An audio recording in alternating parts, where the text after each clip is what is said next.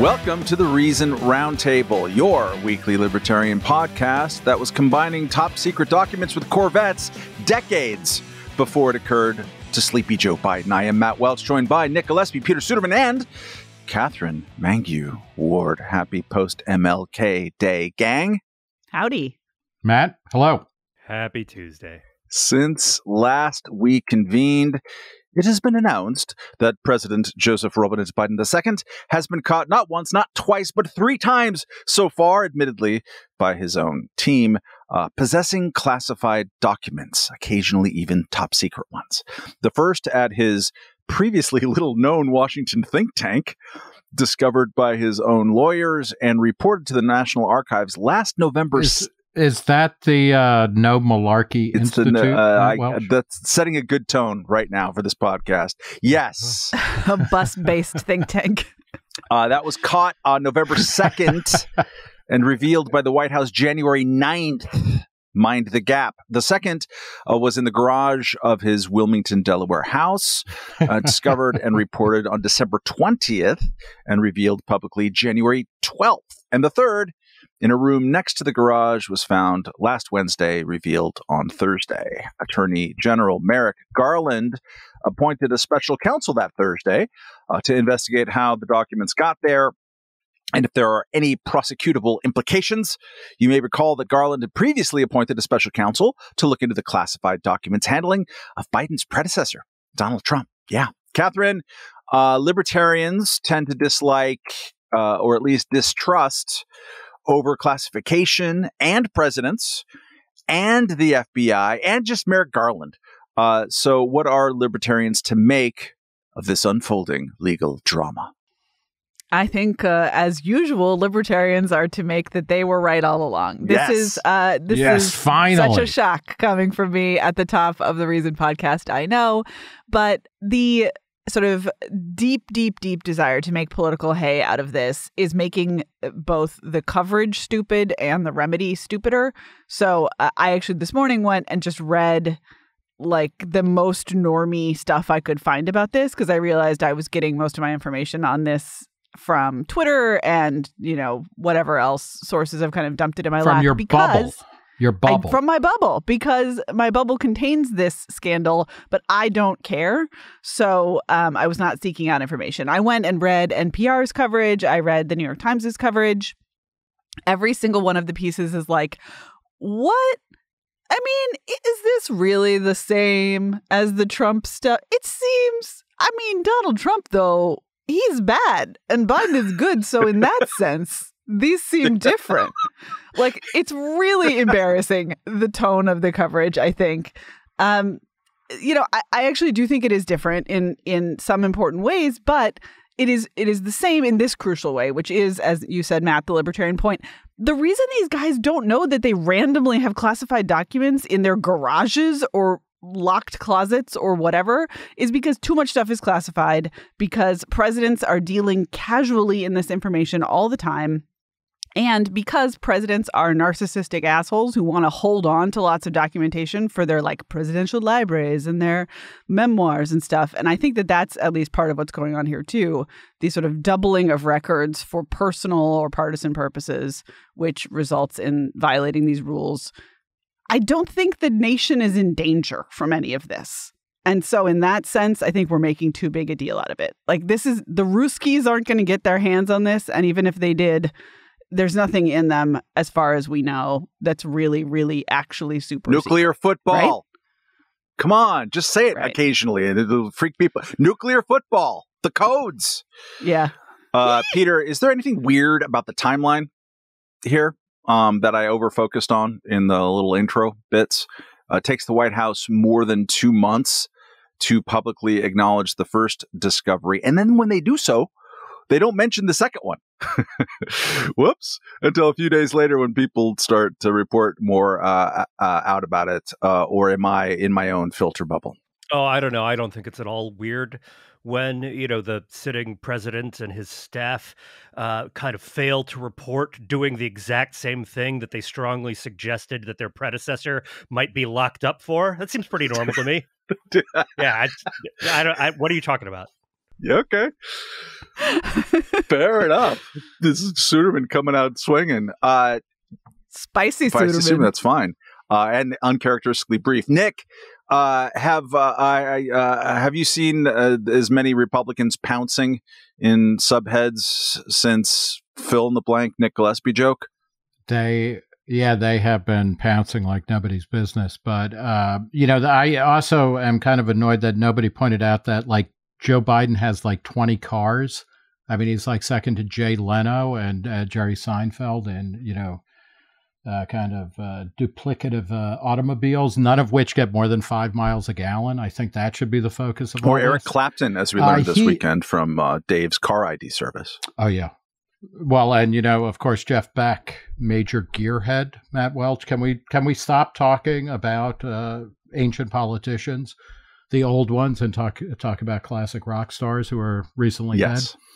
Uh, yeah, um, I don't have much to add to what uh, Katherine and Peter said, but uh, the one thing I was thinking about as this story came out, um, this uh, uh, topic that was a focus of concern not just for reason libertarians, but for a lot of people, particularly people on the progressive left, in the early years of GWOT, of uh, the global war on terror um, which was the overclassification of government documents, particularly at the federal level. And I dug up, uh, there was a study uh, from the early, uh, like around 2006, 2007, that said like fully a third of documents that are put into some category of you know classification like of high classification so that they can't just be publicly released immediately a third of those shouldn't have been done um, and uh, the uh, the government agency that actually uh, looks over all of this, the Information Security Oversight Office, in its 2021 annual address to the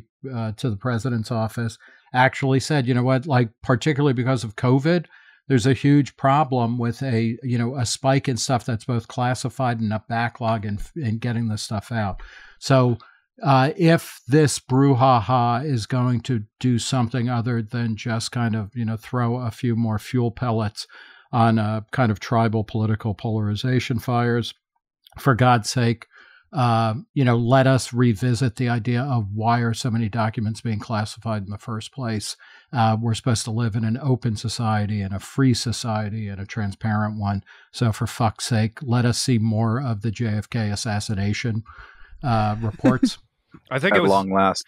I think it was Martin Luther King who said a republic if you can get your federal document retention procedures right. Yeah. No, then we wouldn't judge his we wouldn't judge his sculptures. Truly inspirational. harshly.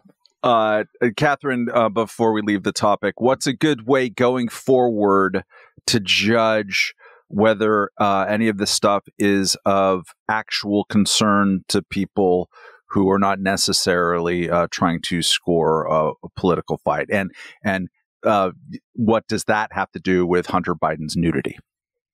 Right. I mean, this is this is the thing, right? We the battle that we are having right now in all of our politics is who gets to control what information other people are allowed to see. Maybe that's the battle of all politics. I don't mean to get existential about it here, but that could be what politics has always been about and it's just more text than subtext these days, but we are uh, we're like retaining this last little delusion from an earlier era that maybe secrets can be kept and that the public can be prevented from knowing things. Now, of course, the public often doesn't know things because people don't care or are lazy or stupid or not interested. That's fine. But I think in general, our bias, both in terms of, say, I don't know, social media misinformation policies and also probably classification documents, is that the the the bar should just be very, very high for for really truly throwing up a wall in which we prevent people from knowing things. Do we need to casually announce the exact position of US troops in the time of war? No, probably not. We could keep that one on the down low. Almost everything else, yeah, people should probably know what's going on for crying out loud. Yeah, and just to throw some more on the social media thing, uh, the ongoing Twitter files, which are kind of impossible to keep up with on some level, and they tend to uh, bore. And I'm not sure I need to read a lot more Alex Berenson uh, in in uh, in life, but uh, over and over again, they come around to politicians and other institutions nagging, negging uh, social media companies, can you please suppress this person? Can you suppre- please suppress that person? These these are elected officials in many cases, um, asking uh, to suppress opinion. That's awful. That's just awful, and that instinct is awful. And all of you people, you're all awful. Okay, moving on. Um, last week was a was was that an Adam Schiff impersonation? Uh, no, but it might have been. Um, um, you know, yeah. uh, the, sometimes we work on a subconscious level, Nick, and it just you know flows out. I think I was reading Nick Cave, and he was explaining how the process works. Uh, moving on, last week was a busy one. Speaking of various culture wars, of our ongoing culture and policy wars over public education and wokeness and I use that word because they're all using that word. Uh, the newly majoritarian House GOP introduced the CRT Transparency Act, and CRT in this case does not stand for critical race theory. It's, it stands more like against critical race theory. It, it stands for uh, Curriculum Review of Teachings Transparency Act. They're doing it again. Nick, they're doing it again. Uh, sponsor. Scott Fitzgerald from Washington, Wisconsin. Washington, Wisconsin? Sure. Uh, mm-hmm. This My side of paradise explained, quote, it's clear bureaucrats and teachers' unions have no reservations about putting divisive material, such as critical race theory, in front of our children that seeks to put people in groups based on skin color or gender. The CRT Transparency Act will solve this problem by helping parents get a straight answer about what their children are hearing in school. End quote. Other news in this category uh, of recent vintage includes House Republican Jim Banks of Indiana announced the creation of an anti woke caucus to push back on, quote, wokeness tyranny, unquote, in governmental and private institutions. New Republican governors in places like Iowa and Arkansas have announced upon swearing in some pretty bold school choice aspirations, while also, in the case of Arkansas Governor Sarah Huckabee Sanders signing an executive order banning CRT and the official use of the word Latinx in government documents. Katherine, um, there's a lot of micro stuff to respond to here, which is what we should normally do and focus on the most. But I want you to give us uh, a sense of a macro question, uh, especially as we are ramping up to National School Choice Week, right? Um, is, in your estimation, the school choice movement, which we tend to like over here at Reason, at this point inextricably linked to the anti woke movement, which is producing a more, let's say, mixed bag of policy results from a libertarian point of view. Yeah. Ooh, that hurt. That question hurts well, my heart a little. That's actually. why I asked it. Hmm. I, yeah. Th- uh, thanks. Uh, I would like Marred to. Like, uh, sorry. I would like to think that it is not. I would like to think that um, the the push for school choice is decades old. It is it represents a very very real and successful policy initiative that came just out of Milton Friedman's brain basically and into the world. Um, the fact that in the last couple of years it has become entangled with these uh, you know extremely kind of high temperature fights over race and gender um, I don't I don't think necessarily spells the doom of the school choice movement as a concept, but it's certainly has confused the brand. And I don't think that's a coincidence, to be clear. Like the Republicans did this to themselves for the most part, but I got to imagine that the teachers' unions, your Randy Weingartens and such, are absolutely delighted to see this smear that they have tried to perpetuate for a long time that somehow school choice is secret, you know, conservatives being racist and anti gay. Um, now manifesting in the real world. That is is not and need not be what school choice is about.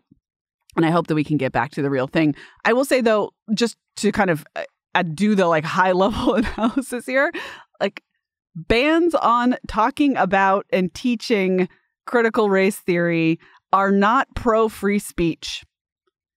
Uh, they're just not. Like the Republicans that are out here saying, I'm defending free speech, I'm defending free speech, and so I'm banning certain speech it's just really important to say again, like that's not how this works. That's not how any of this works. And uh, and I think that it's sort of easy somehow for some people to to gloss over that in this debate. I don't understand why. But Peter, um, on the Randy Weingarten side of the the sin, the sins in education, I mean, are not uh, teachers' unions, particularly in bluish areas or deep blue areas, pursuing kind of some crazy equity stuff? I mean, there's news out, I think it was Virginia, Maryland, you guys will correct me, um, of uh, uh, school uh, officials suppressing national merit scholarship awards because that's not good for equity or something like that. Um, there's some crap out there. So is it isn't it a good thing for the House GOP to go out there and say, "Hey, look, we want transparency. Um, we're going to mandate transparency, uh, uh, uh, telling you you can't receive federal funds unless you show us everything that you're teaching uh, out there in the world." If you pronounce the letters CRT like a word, oh. like a word, what do they sound like? They sort of sound like cart, but like without the a, cart. But this sounds kind of like cart, right? And I think that what this whole debate is doing is putting the horse before the cart. Ugh. Oh my God, I Jesus. hate you. This is what long weekends do. that was just for Katherine. No, I'm actually I'm actually serious here, which is what is happening is that Republicans are assuming the primacy of public schools and then saying, well, they have to they have to be transparent about everything, and then we're gonna and we're gonna inform parents, and then we're gonna have the debate after that, right? When instead, what we need to do is say, let's give parents a choice about what kinds of schools and what kinds of uh, education their kids are going to have up front.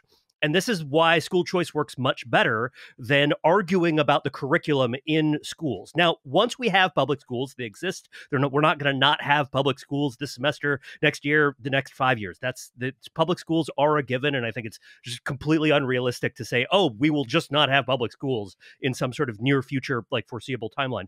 Once we have that, I don't think it's entirely crazy to give people information right? Like the, the to let to let parents know what they are being taught. And I certainly think there's a lot of stuff that many parents would find objectionable being taught in public schools. But I don't think that arguing that trying to use public schools as the locus of that debate is going to solve this problem. Instead, it's going to intensify the conflict.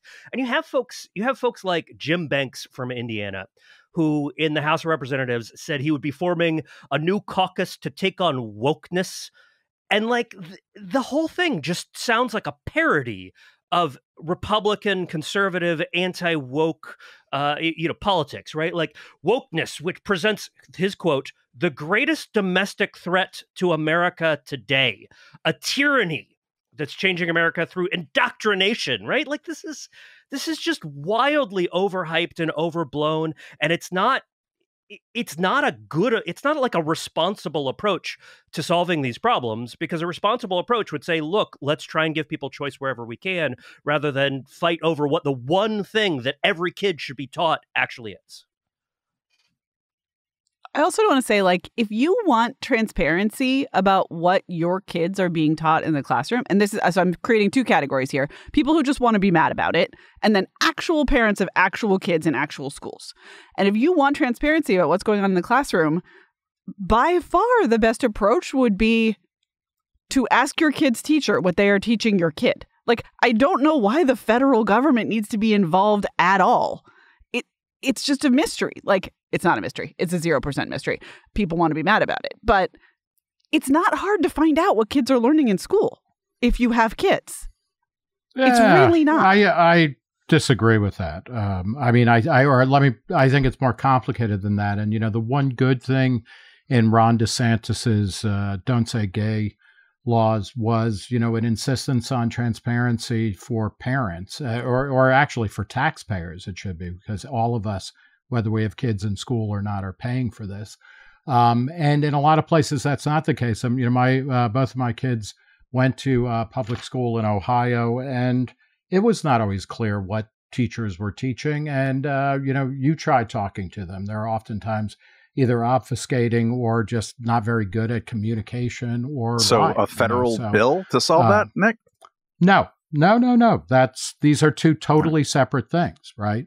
Um, you know, the idea that the federal government is the place, you know, the one place of redress for this is obviously stupid and insane. And it's funnier. The the it gets funnier and funnier the more hysterically, reactionarily conservative, the Republicans who are calling for this, and somebody like Jim Banks, who has also sponsored legislation enshrining qualified immunity in law rather than a shitty court decision, um, you know, who denies the federal election, you know, who, who denies uh, the election of Joe Biden, uh, who went back and forth on January, investigating January 6th after Trump was like, hey, I really don't want it to be investigated. I mean, it's great that small government conservatives are the ones who are now saying, you know, that this needs to be, you know, uh, eh, you know, legislated at the federal level, if not at the UN. That'll be the next step, right? Where they go for we need one world government that stamps out wokeness everywhere.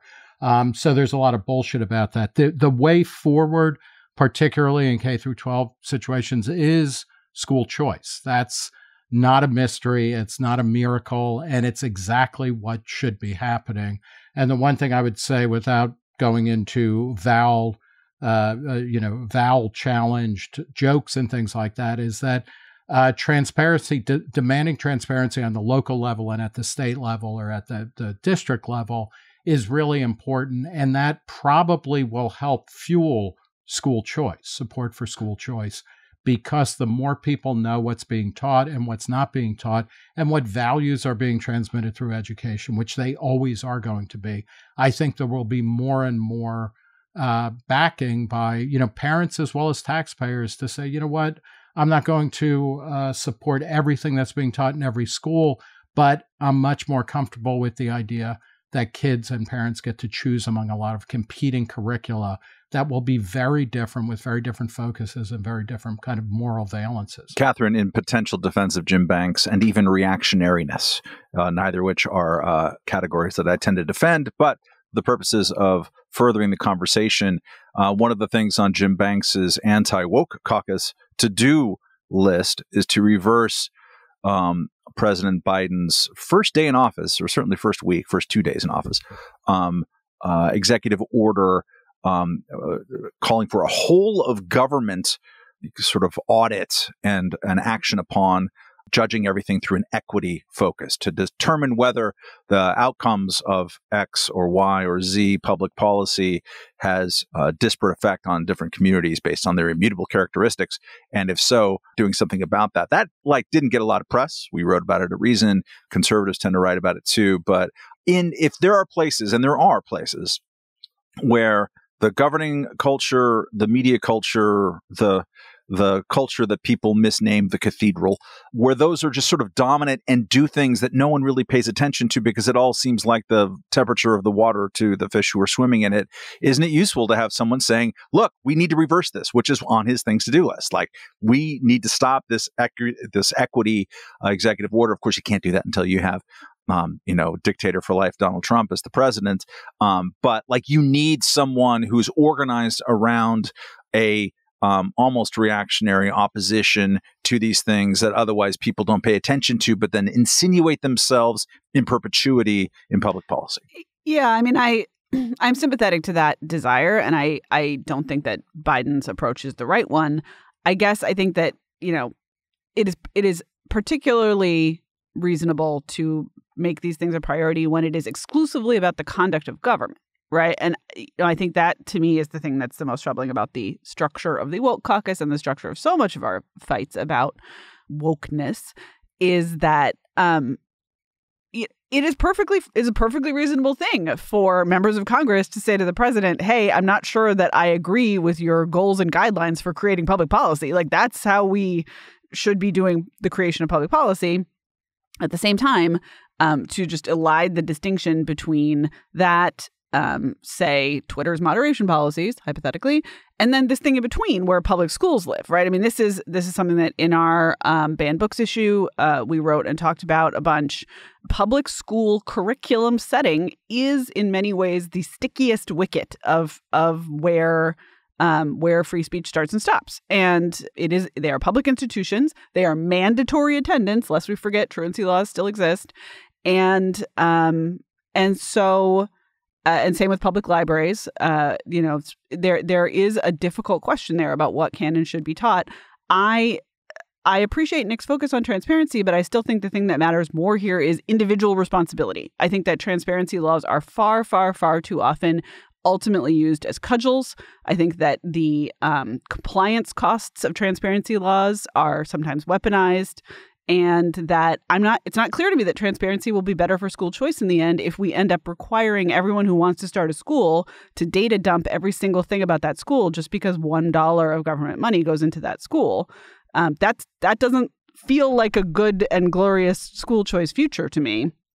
And so I think that you know again the place that I would say it's like if tax you know taxpayers have a say, but not not that big of a say honestly. What matters I think is the kids themselves, the parents themselves, the teachers themselves, and the lower you can devolve that, the better. Certainly, again, the federal government has absolutely no business here. Um, Peter, you're from Florida. Katherine uh, mentioned uh, the uh, governor Ron DeSantis clearly has some uh, uh, possible presidential aspirations. Uh, he recently appointed to the board of a public liberal arts school called the New College uh, Chris Rufo, Christopher Rufo, um, as his byline would suggest, uh, who is uh, arguably the leading anti CRT, meaning in this case, critical race theory uh, activist uh, in the country. Um, just wondering if you can give us any insight onto that transaction and what it might uh, tell us about DeSantis or just on the state of applied Republican anti wokeness in education. It's mostly symbolic hippie punching. Uh, New College is the weird college in Florida, and it's it is it's a oh. public institution, but it's the weird college, and like that's really the best way to think about it. It's not just artsy; it's out there. It's sort of fringy. It's where they send the kids who like you don't you kind of think they're maybe smart, but you don't really know what to do with them, and then they all go and do you don't really know what for a, a bunch of years. There's no transparency there, and it's like self consciously the weird college. It's also not very large and not very influential relative to the to the genuinely big schools in the Florida public uh, uh, university system, FSU, University of Florida. Um, and so to me, it, the choice of, of locale, of venue here to make the move that DeSantis made is really telling because if DeSantis wanted to make a big change in the public university system, then he would start with the big, highly dominant, highly influential schools. Instead, he just went after the one that is known for being eh, kind of kind of silly and absurd in certain ways. But like that's it's you know it's it's it's not it's not an important school in the sense of like they're setting the the woke agenda for Florida or for the nation. It's important in the sense that everybody knows that's where the weird lefties go. I just want to point out two uh, great uh, alums of New College in uh, Florida. Uh, one is uh, one is uh, Rick Doblin, the founder of MAPS, the psychedelic research group, which is pushing MDMA through FDA trials, should be online and fully legal. MDMA assisted therapy, psychotherapy within a couple of years and uh, then also Bruce Beresford Redman, uh, a uh, MTV uh, Pimp My Ride reality TV producer who was convicted of murder. So that's what you get. This is what you get w- when you mess exper- with us. Experimental state college, you know, with no grades and just let people be. Um, um, Can I uh, just uh, throw a little tidbit yes. in here, which is that I was talking with someone this weekend who is not who does not pay attention to politics, who is not anywhere inside my bubble. Your and it it emerged uh, yeah, it emerged that she had confused George Santos and Ron yes. DeSantis and thought that all the George Santos identity stuff was about Ron DeSantis, leading contender to challenge Donald Trump for the Republican nomination for president.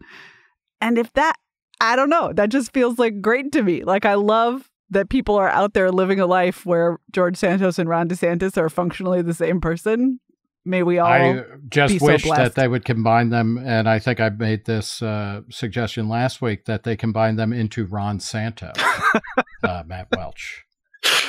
Oh. The, the diabetic uh, Hall of Fame third baseman for the Chicago Cubs, who really didn't yeah, deserve did. to let's, be in the Hall let's of not, Fame. Let's not confuse no. people. Uh, I will add to that, Katherine, no. that I once, thank God it never aired, but uh, uh I was once interviewed by 60 Minutes by Lesley Stahl uh, by dint of where I was living at the time. They were doing a feature on it, and uh, she was trying real hard to get me, and this is like 90 one or two trying to get me to be really angry at Bill Clinton, even though I wasn't and didn't live in, in America. So why would I be?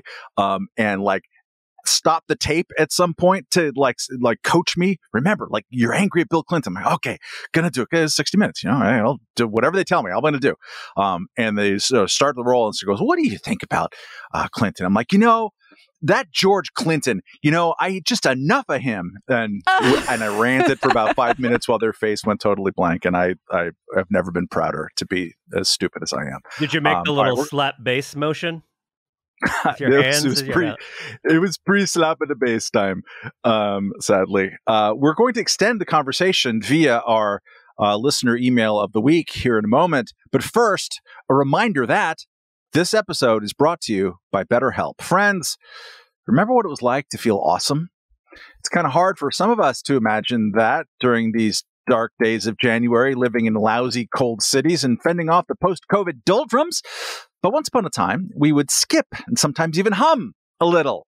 It's time to ask what's keeping you from getting back in touch with your inner happy go lucky person? How do you get to your good place? For millions of people, therapy can help remove obstacles and build new pathways toward getting to your very best self. That's where BetterHelp, the world's largest therapy service, comes in. BetterHelp has matched 3 million people with an M with professionally licensed and vetted therapists, it's an affordable service, 100% online, and super flexible. If you don't like your first match, swap them out for another until you find the right fit. And listeners who act right now can get 10% off their first month. Just go to betterhelp.com slash roundtable, fill out a brief questionnaire, and find a quicker path to your better self. That's better H-E-L-P, like Peter Pan. Go there today. You'll be glad you did. All right. Reminder to send your brief email queries to reason uh, at uh, roundtable.com. Round, no, that's not right. Roundtable at reason.com. What am I doing?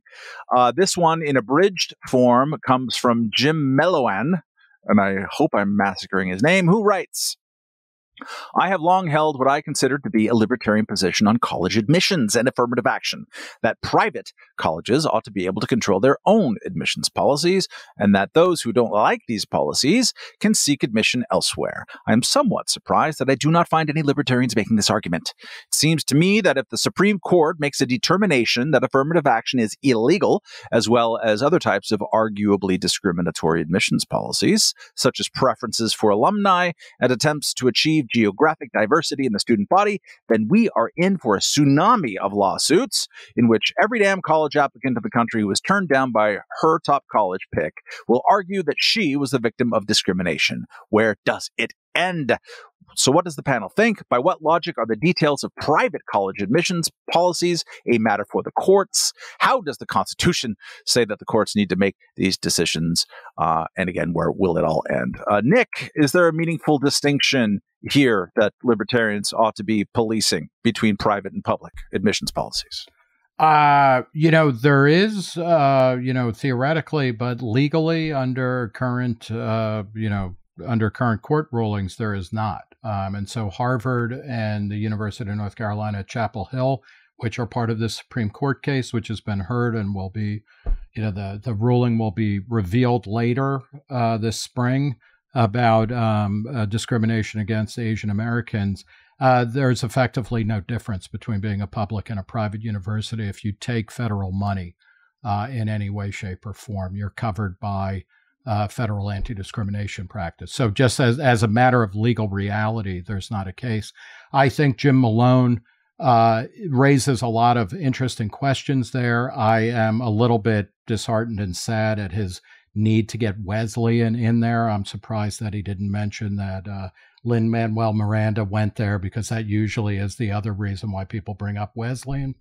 Uh, uh, and we have friends and coworkers who went there as well that we won't embarrass by naming them. But, um, you know, a lot of what's going on with the anger here, I think, is Harvard in particular is doing an incredible job of gaslighting Asian Americans because part of it, you know, part of that case, which I followed a lot, we uh, did a recent live stream, Zach Weissmueller and I at Reason, with David uh, Bernstein, the George Mason law professor and Volokh conspiracy blogger, and Kenny Xu of Color United. Uh, and they both were, you know, talking a lot about how Harvard is lying about how they are processing Asian American applications. And if they were a little bit more honest about that, it wouldn't take the sting of rejection out, but it would change the conversation. And it turns out that, you know, the way that Harvard, and this has gotten a fair amount of press and is worth thinking about, is the way they they um, uh, de-emphasize uh, or, or, or you know like downgrade Asian applicants, which is mostly Chinese uh, students, by the way, and some uh, South Asian Indians. Um, but is that they say they have bad personalities that wouldn't you know that are they're they're you know they're deficient and what's fascinating is that what the court uh, you know the the discovery process and the court case has shown so far is that the alumni interviewers who talk to these asian american applicants are like you know what? These people are really good. Like they're as good as white students or maybe even a little bit better. And then somewhere in the admissions office that gets changed into a demerit. And that's why asian americans who are all are overrepresented from the general population of America at Harvard, but they're not in at the the same numbers that you would think their test scores, class rankings, extracurriculars, et cetera, would would point out. But it's the lying about stuff, and this reminds me of the way that FIRE, uh, the Foundation for Individual Rights and Expression, formerly uh, the Foundation for Individual Rights and Education, um, talked about private universities that don't follow the First Amendment because on that grounds they don't have to be as as uh, kind of robust as public universities. Um, you know, people like Alan Kors and Greg Lukianoff say, you know, part of the problem is that these schools are lying to students when they say you're coming here and you're going to be able to have a robust, you know, no holds barred intellectual experience because they don't do that. So, in a way, the legal issues aside, what's going on here, particularly with the Harvard case, UNC is a little bit different. You know, is that they're lying about how they are saying, well, you know what, Asian Americans really aren't that interesting, uh, and that should be deeply offensive, I think, to all Americans. Catherine, you went to uh, non-Harvard. Uh, are you cheering on this Supreme Court case? And do you think that, like Nick, that there isn't uh, that much of a meaningful legal distinction that we should be thinking about? I mean, I think that there is what this case and what this general kind of controversy has forced people to confront is that you, I think many, many people share the natural intuition that schools should be able to put their thumbs on the scale in the favor of certain student groups, but only the ones sort of semi arbitrarily that society is comfortable with or that we've always done. Um, and the thing that Nick just described uh, with Native with um, Asian Americans is a very, very close parallel to the way that Ivy League institutions treated Jews uh, a century ago. They basically crafted their admissions policies in order to make Jewish applicants score lower. Um, this is the source of a lot of the geographic diversity uh, requirements, which our, our questioner actually noted in the longer version of his question. Um, you know, if you have to admit some kids from Wisconsin, you know, they don't got a lot of Jews out there, problem solved. And so um, this is. Um, this isn't going to go away, regardless of how the, the Supreme Court rules on this case. Schools are still profoundly, deeply motivated to racially select their student bodies, and they're going to keep doing that. Um, and that I think is the thing that's that's underappreciated here. They're just going to figure out another backdoor through which to do this. Um, but but Nick is right. It's it's you know actually kind of shocking how these schools are are leaning into negative racial stereotypes about Asian Americans in the service of this other this other goal of kind of balancing schools. I think that private institutions should be allowed to discriminate based on race. That's why libertarians don't talk about this because that sentence freaks people out. Um, it freaks me out. I don't even like to say it, but I think that um, you can't really solve this problem without confronting the deepest underlying question, which is should it be legal to discriminate based on race? Not should it be good? I think it's not good, but should it be legal? Um, and we have separate jurisprudence right now for um, school admissions and, say, um, you know, being able to book a room at a hotel. Um, but it's still the same underlying question. It makes people nervous. It should, because we have done this so badly in the past in this country. Um, but we are still doing it badly in school admissions. And um, and I I hope that the court sides with the um, with the folks who are pointing out the real injustices in in these cases. Peter, does it make you nervous at all? And it's a bit of a curveball. Um, the kind of polarization of race related policies we are seeing uh, exist and being championed by um, in different parts of the country. And here's what I mean by that: the Supreme Court, I think, is probably going to. I haven't looked at it that closely, but probably going to strike down affirmative action in this case. A lot of people are going to be really, really mad about that. Um, and meanwhile, in San Francisco, uh, I, I think this week or recently, a board that was appointed to look into the possibility of reparations is like, yeah, we should give five million dollars uh, per black person here, or some kind of like you know 250 years worth of rent relief. I mean, these things are couldn't be more opposed. Um, are you worried about the way that those visions clash, and even the way that that people talk about it clash with one another in a way that seems kind of incompatible? Sure, I'm worried, um, you know, just in general, but for some specific practical reasons uh, here. Which one of which is that it's not uh, at all obvious that um, the sort of uh, the D, let's the the left leaning DEI approach to the world actually makes the world uh, a uh, someplace that is better for the minorities, for the minority groups that the DEI folks want to it, like improve life for. Um, and so there's a great uh, piece just uh, in the New York Times today by uh, Reason contributor um, and Substack writer Jesse Singal, uh, who basically just outlines the evidence that um, diversity trainings almost certainly don't help in corporate settings and also uh, may it may in fact make race relations worse in corporate settings by highlighting uh, by, by highlighting racial differences or sort of I shouldn't even say by highlighting racial differences by emphasizing Yes, by, by emphasizing them. and uh, the idea that there are that there are ra- uh, of racial disparities, it might it creates resentments amongst uh, uh amongst white people. Um, it sort of over uh, overplays the idea uh, that sort of you know that there's a um, that there are victim classes and that there are sort of aggressor classes, and that like that that produces a psychological effect that actually deepens those divides in ways that are at best not productive and at worst counterproductive. And I think that the, the a lot of our conversation around race in America in 2023 looks a lot like that, where you've got folks who are trying to emphasize um, racial difference as like a as something that like oh you is basically as something that you can judge a group by as that there's a that there are immutable group characteristics rather than the idea that we should be judging individuals as individuals. Uh, I, I, guess I also just slightly want to want to offer um, a, a, little bit of a tweak to Nick's uh, argument that there's no meaningful um, legal distinction between the two cases here. So the Supreme Court is hearing two different cases about affirmative action. One of which involves the University of North Carolina, which is just a public university, and as a public university as a as a government institution effectively uh, it must comply with the constitution's equal protection clause. And that is an, a further requirement that Harvard and other uh, sort of nominally private institutions don't have to comply with.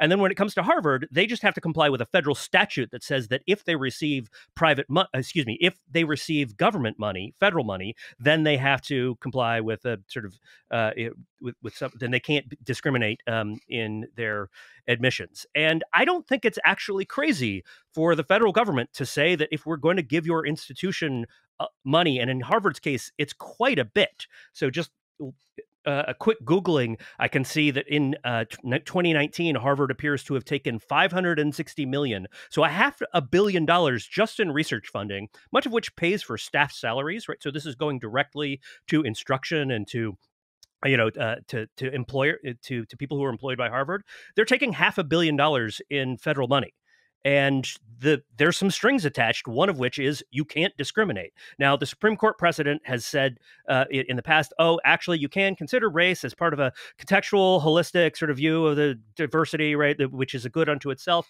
But that's the question here is whether harvard is actually meaningfully private in the sense uh, that you know, libertarians talking about private institutions want to talk about. And there are colleges not very many but there are colleges that do not take federal money. And uh, um, and it seems like Harvard could decide, oh, we're just not going to take the federal money, and then we'll do whatever we want, and we would be, and we might be free of some of those limitations. Um, and that's not on the table because Harvard isn't going to give up half a billion dollars in research funding alone. Yeah, um, and if I may, uh, as David Bernstein explained, those distinctions ultimately don't really matter in the in these two cases. But uh, the question is: Is using race a determining factor? You know, like is it the thing?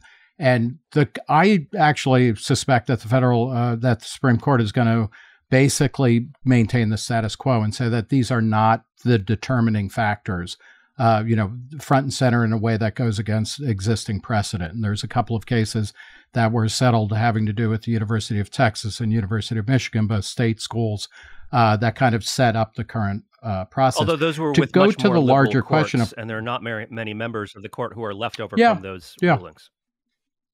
No, I know. Well, I'm I'm making a uh, you know a prediction here, uh, but the uh, the other thing that what you know if uh, to kind of draw a theme from earlier uh, talking about K through 12 education if we want to talk about transparency the fact is that both public and private universities use affirmative action all of the time in various different ways to kind of sculpt an incoming class that they think best represents what they supposedly are about um, and you know, uh, uh, the number of women who are attending college now, who are undergraduates, is approaching sixty percent.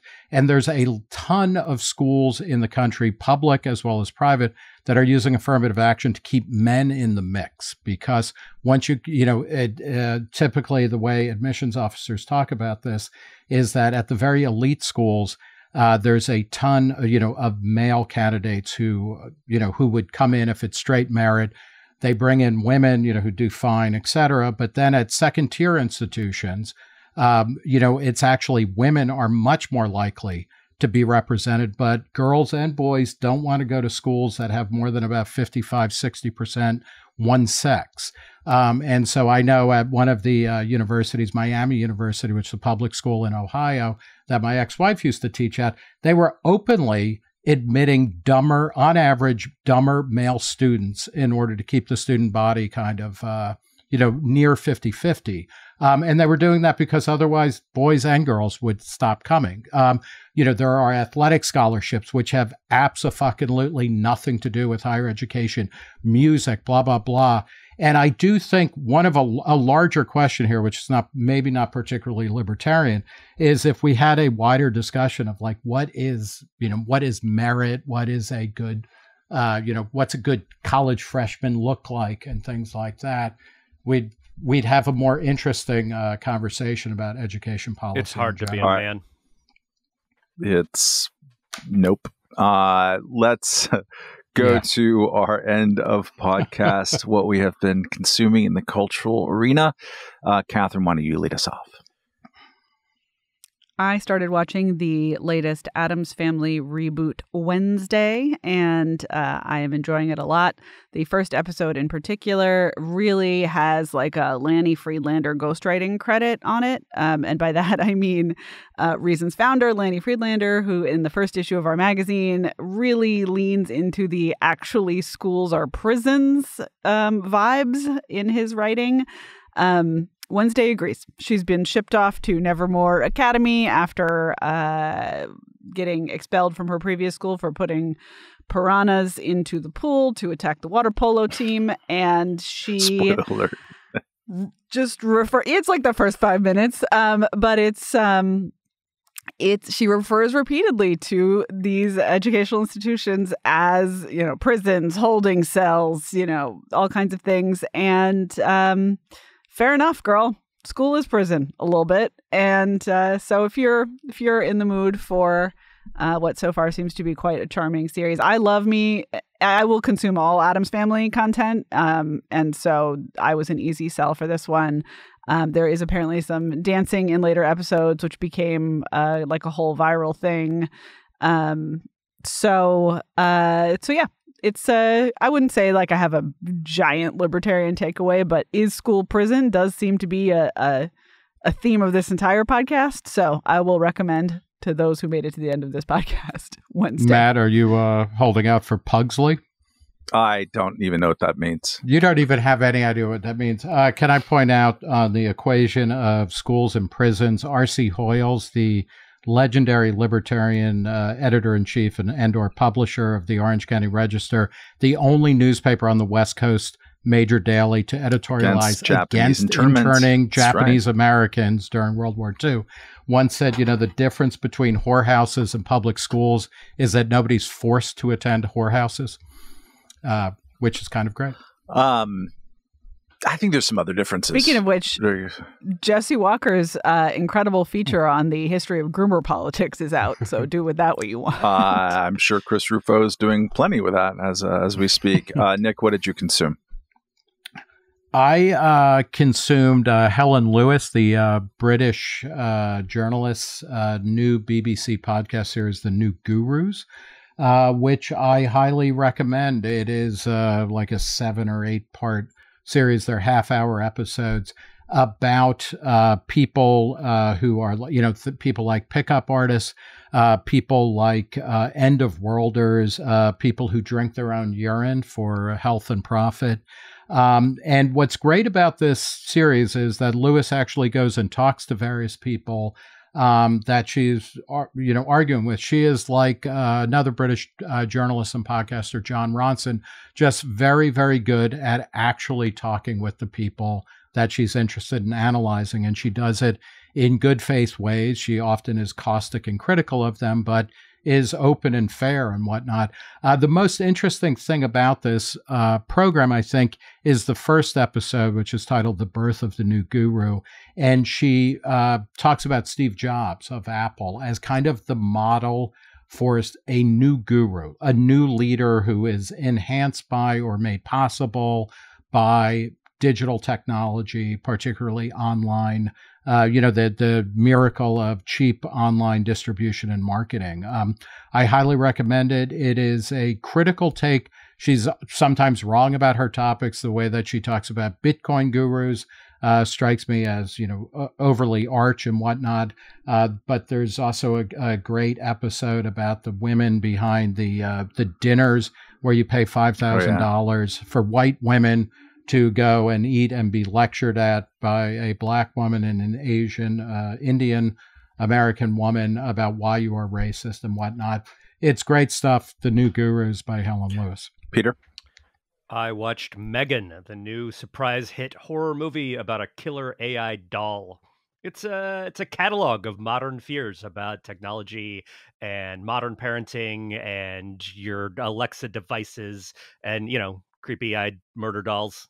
Um, it's not a great movie, but it's actually a pretty effective one. It borrows uh, pretty smartly from a bunch of uh, influences, not just obvious stuff like the great classic Chucky franchise, but RoboCop and Terminator. And does anybody else here remember Teddy Ruxpin? Right, like my body, my body. Oh my God, I go, had right? Like, one. and then there was like a a girl. and then one of the eyes would always break, and then it was like lazy, lazy eye automated, automated. Right, this movie is bear. basically like what Hey, you you know what? We we call those challenged eyes now. Mm. No lazy eyes. Come on. Mm, Uh, this movie is Mm. basically what if Teddy Ruxpin were a full size American doll with a Siri inside her and maybe also Chat GPT plus murder. And it's it's pretty good for a movie where that's the Mm. concept. Um, and it, it also it also kind of interestingly makes the case for the theatrical experience in a way that I hadn't quite thought about before. Not so much because it demands a big screen and a top tier sound system. This is not like a big budget avatar level extravaganza, but it plays to the crowd really well. I saw this at a packed house on a Sunday afternoon at the local Alamo Draft House, and this sort of knowing pretty goofy high camp shocker is it's just a lot more fun in a room with a whole bunch of other people. I watched a uh, theater production, kind of a play with music called King Gilgamesh and the Man of the Wild uh, on Saturday. And it's fantastic, and it's only on for four more days. So if anyone is listening to this, and they've been sold out, but they have walk-up traffic that uh, uh, can uh, accommodate people. It's in New York City at the La Mama uh, Theater. It's part of the Experimental Theater Festival. Um, it's a story. It's a bromance, frankly, um, uh, uh, true to life a bromance about uh, an Iraqi refugee in Toronto uh, named Ahmed Moneka and a American living in Toronto who's kind of a marginal actor uh, named Jesse Lavercombe, who have a chance meeting at a cafe on an important day for both of them, and um, they end up spending a, a, a, long and intense evening and then kind of go their separate ways. But as part of that initial encounter, the Iraqi references Gilgamesh, which is the oldest uh, epic tale uh, in humanity's history, as far as we know. Um, and Jesse's like, "What's that?" And then he maybe Googles some of it on the on the turlet, and then they start talking about it. And the uh, the thing of the play is that it goes back and forth between their encounter that night and a little bit later, and also the story of Gilgamesh and his uh, trusted buddy, uh, who has uh, some kind of name like Engida, um, uh, who is a beast. And, and whatever. Uh, it, uh, it's a lot of foreign, that, that, that, that foreign words. Uh, it's Canadian, Matt. They speak a different uh, language. And so they play Gilgamesh and Enkidu, um, who is a beast who Gilgamesh tries to uh, tames with a prostitute to make him sort of human. And then they conquer various lands and attack the gods. And um, but then Enkidu uh, suffers misfortune and Gilgamesh. And it, toggles back and forth in a really a great uh, way. Um, and it's a funny a case of a funny meta story of the of the piece itself, um, which is uh, and it's uh, directed by uh, uh a guy known named uh, Seth Bockley, um, and they had worked on it in Canada, and it's kind of the true story of these two guys having forging an unlikely uh, friendship and also musical partnership, um, and. along the way, COVID happened and it basically sort of incubated for four years. And over that time, the band that was sort of formed to um, tell this story became a huge local hit doing like uh, world music and stuff. And Ahmed Moneka um, went from being kind of an obscure uh, refugee figure who's kind of big back home in Iraq, and he's and he's uh, refugeed for a, a, pretty interesting reason. Um, he's now become kind of a celebrity, so it's very interesting. Uh, they're going to take the production back to Toronto, and it's going to tour a little bit, and you can also find their music. But uh, just a really great, small, good uh, play with good music, uh, King Gilgamesh and the Man of the Wild, is the it, La Mama Theater. Is it all? Is it all uh, Gordon Lightfoot songs, man? Not even one. What's the music sound like? Uh, not even one. Um, it's all. Uh, it, in, in fact, it's uh, songs in uh, whatever devil tongue they speak in Iraq, uh, for the most part. Um, and uh, and it's great. Um, so uh, go check it out if you can, and just follow those people. I think they're going to be throwing off interesting culture going forward. Um, that's all the uh, culture interesting. Otherwise, that we have time for here at the Reason Roundtable podcast. Uh, if you like um, our podcast, want to hear more of them institutionally, uh, go to reason.com slash podcast where you can find the Reason interview with Nick Gillespie, the Soho Forum debate series uh, moderated by Gene Epstein Stein. Um, I never can figure that out. Who's got a rule of thumb about that, by the way? It's I know, but like, is there like a mimetic? Is there? No matter what you, no matter what you say, it's anti-Semitic. Yeah, that helps. Uh, thank you for that. Um, and as Bruce Springsteen will Nick, uh, is there any live speakeasy event that you are taking part in in New York City that you would like to advertise to our dear listeners at this moment? Oh, well, thank you so much, Matt Welch. On uh, Monday, February 6th, Kat Rosenfield, the uh, novelist uh, whose book, Catherine, whose latest book, uh, You Must Remember This, Catherine raved about just a week or so ago, uh, and who's also a great essayist for Reason and for UnHerd, uh, that website, is going to be talking about her novel, about cancel culture, about sirens in the back- background, and fights over people like Taylor Swift, Beyonce, and Lizzo uh, censoring themselves to avoid woke sanctions and censure, as well as uh, big online fights over whether or not liking big butts is a form of cultural appropriation, which should not stand. Um, so that's Monday, February 6th, the next Reason Speakeasy in Midtown Manhattan. Go to reason.com slash events to get details. Tickets are 10 bucks. Beer, wine, soda, food, and uh, really great conversation. Fantastic. And if you like uh, what we do as an institution, uh, please think about giving a uh, tax-deductible donation. Go to reason.com slash donate. All right, we'll catch you next Monday. Thank you and good night.